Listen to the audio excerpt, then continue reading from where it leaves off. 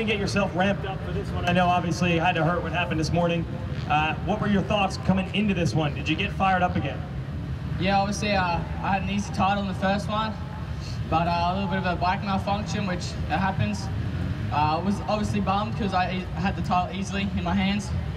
But uh, yeah, I just had to regroup for this one, and I tried, messed up my start, and uh, yeah, riding that, riding out there like a goon, which doesn't help, especially here. But uh, for my first time coming here, I, I, surprised a lot of people, and I surprised myself. I definitely kicked a lot of ass.